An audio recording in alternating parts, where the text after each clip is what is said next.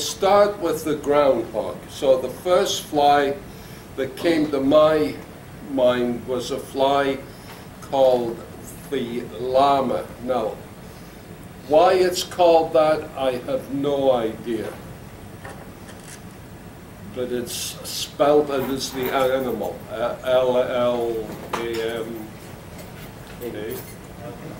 Okay. So, llama. And Eric Leiser is probably the most known proponent of the llama, but it wasn't his fly. And why it came to be known by him was he came out with a book or two back in the early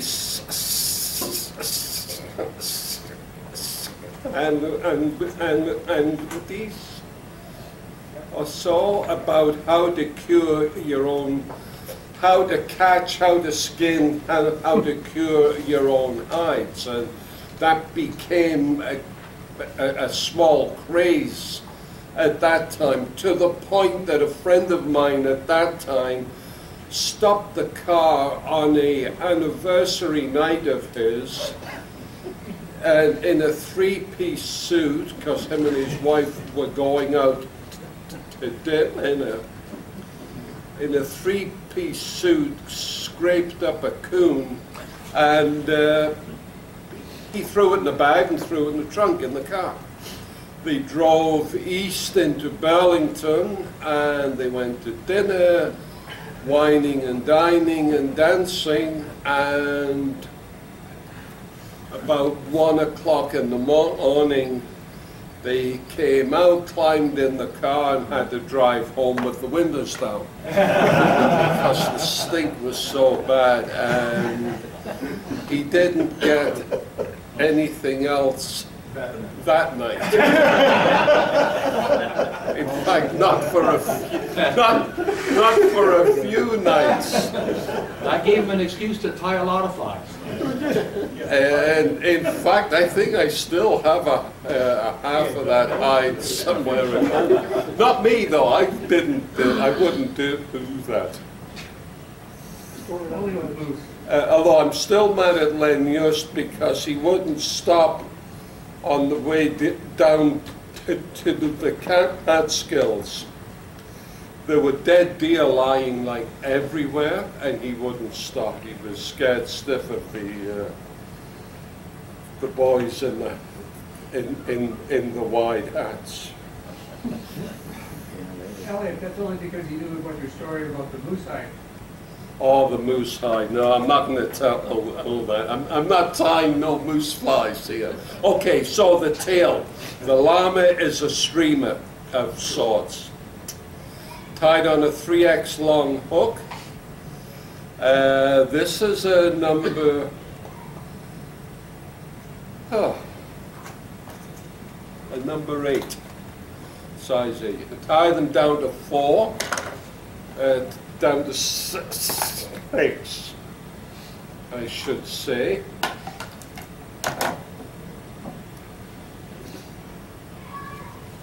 Anyway, that's, that's it there. So it has a tail of um, grizzly hen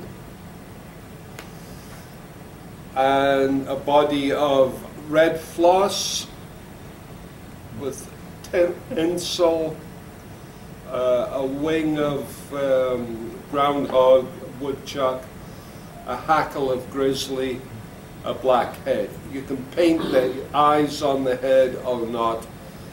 It's your call. The kind of a pain to do because you have to do the white, let the white dry, put the little black dot in the middle, let that dry, and then you coat the whole thing again with clear cement to to harden it all up and shine up the whole head. So it's a, it's a, a, uh, a pain in the neck, and I haven't found any peel and stick eyes that, that small. So, anyway, how you tie in the tail. I've cleaned off all the crap on the base, all the fuzz. You pull out uh, the fibers on the lower end so that it looks like that. It's standard. Lower. lower, There you go. okay, so it stands out square off the quill. Okay, grab the, the tip by your thumb and your finger. You put the quill against your thumb. So I'm hol- holding the, the, the, uh, the whole length flat, holding them out square, and you pull. And everything then becomes square. Which when you do that, then your tips are all lined up. Um, You get that? If you do it like this,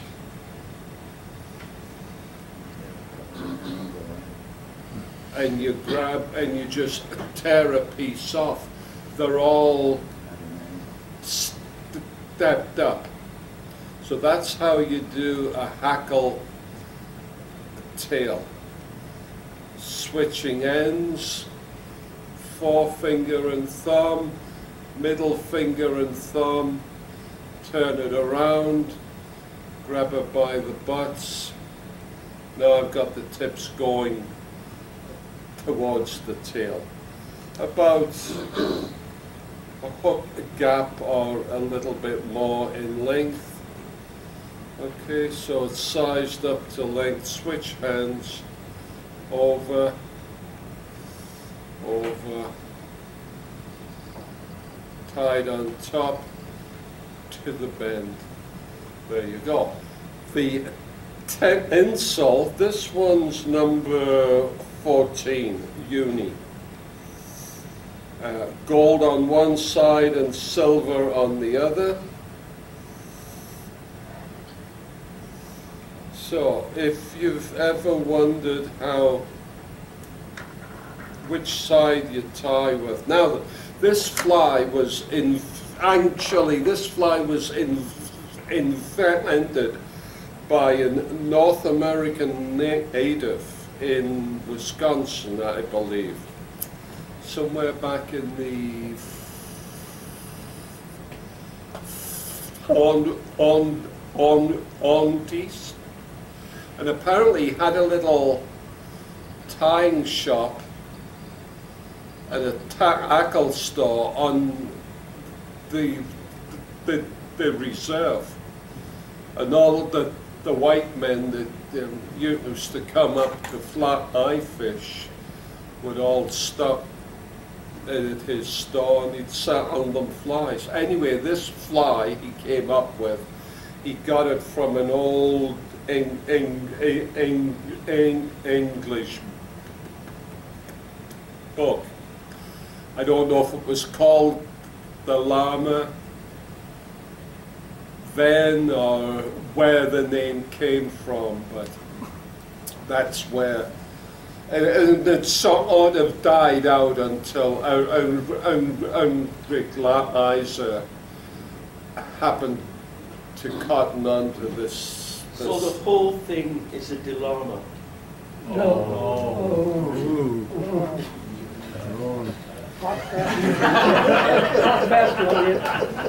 Okay, so what I do, What a crowd. Didn't come, oh. didn't come, originally it had a silver rib.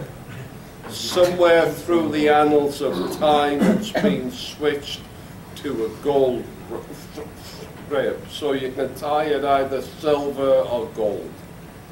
If you want the gold side out, you tie the silver side up. If that makes sense, because you turn, turn it, and which brings the gold side up. So I'll tie it down, but I won't go all the way. I'll leave about a mill or two short of the last tie down spot on the tail. Okay? Now I'm going to go up And there's a couple of ways you can do this. You can either leave the thread attached and so, or to struggle with the floss and the thread, or you can tie it off the thread. Start the floss at the at the head of the fly, little a little ways back, not all the way up. Start the floss and you wind back, close turns, winding back, as smooth as you can. When you get to the tinsel, switch it over and take a turn of floss at the back. Okay.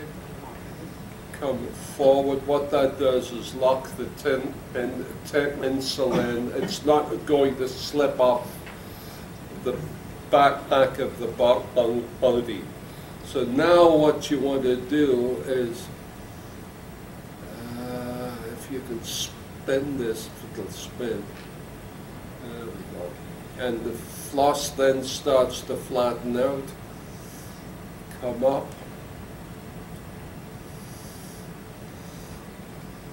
Smooth turns.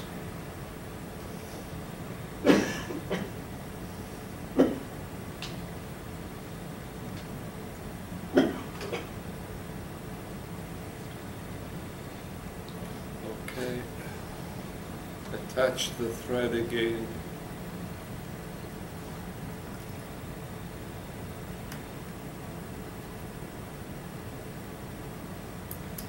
Floss and the thread are tied down at that. Okay. Floss up. Snap it off.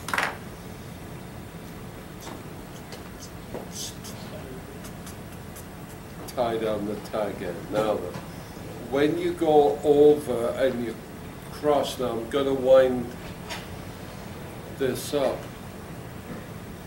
Now I've got the gold out. One, two, three, four, that's better. Five turns. The sixth turn I tie off.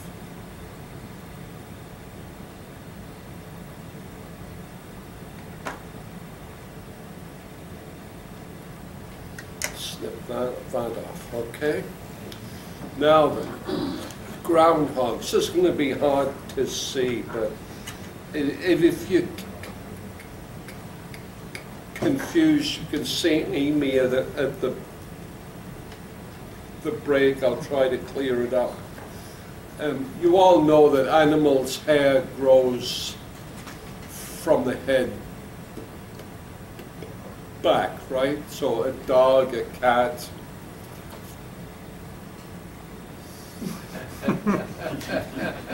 grows from the head down. I sometimes wish, I sometimes wish it would grow that way and, and hide the bald spot, eh, Sheldon? Yeah, In your case, man. In your case, Elliot, it's growing from the chin, not the head. Yeah, so, what you want to do, like with deer hair, muskrat, groundhog, and, eh, eh, and, and, and everything, see how the hair lies and start from this side or this end.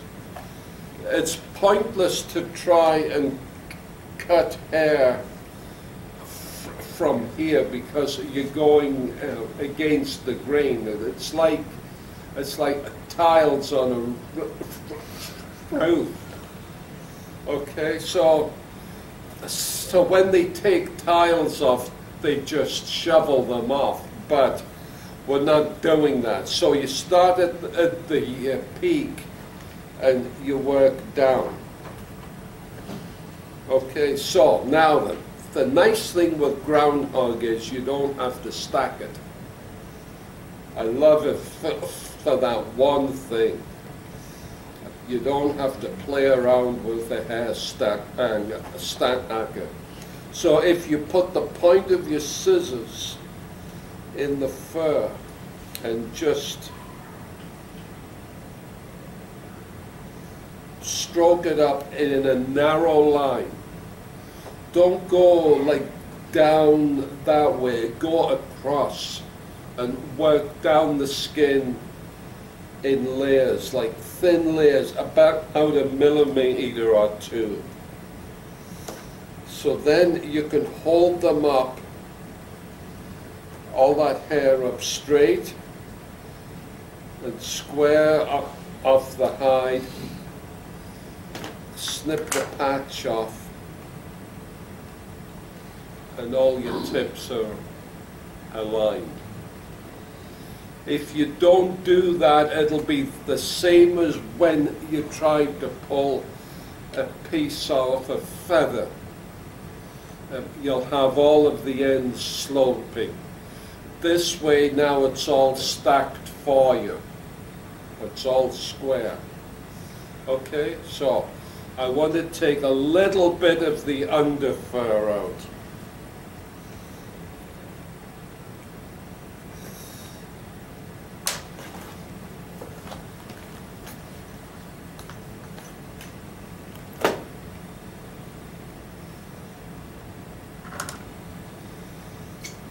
Okay. So you're tying the guard hairs in, which have the, the creamy tip, and the under fur, which is the tan and the black. In fact, there's a piece there that I'll just take out. Now that has a few guard hairs in it, but it's it's mostly un, un, under fur. Okay, so let's clean out a lot of the, the crap. Now the wings should be extend, it could go as fa- far as the tail. I usually don't, I tie it just a little short of the tail. Perhaps the, the bent end of the hook or little bit past. So I have it to size, snip off the butts, square. Okay. Got my thread, put that down, over, pull.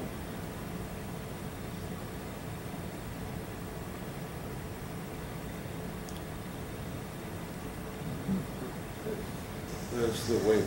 Okay, so what you can do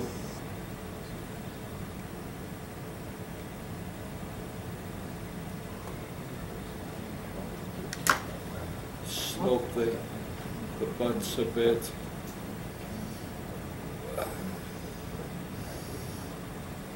I'll clean that up late, late winter on. The hackle is a full, full hen hang, hang, ankle. And um,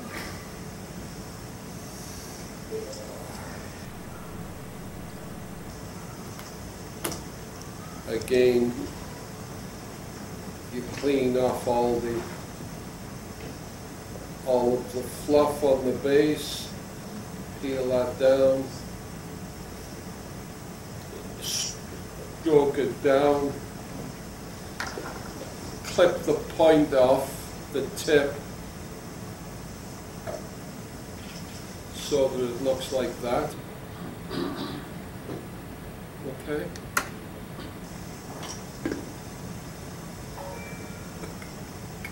Concave side down, catch the thread in the notch.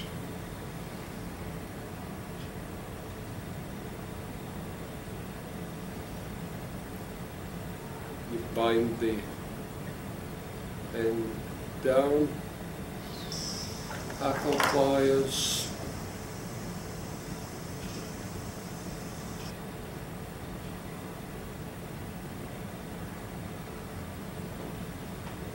And each turn you wind, you pull the lower front fibers or the ones next to the shank.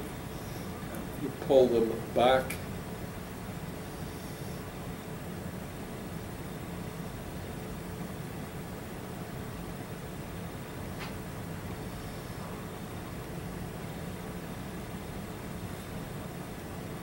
Hold the quill up and cross the thread over the back.